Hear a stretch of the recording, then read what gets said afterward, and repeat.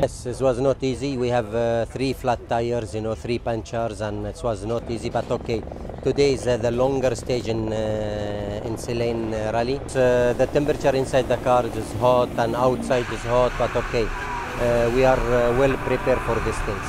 Still, we are 16 minute uh, lead, and uh, tomorrow we need to bring everything uh, in one piece.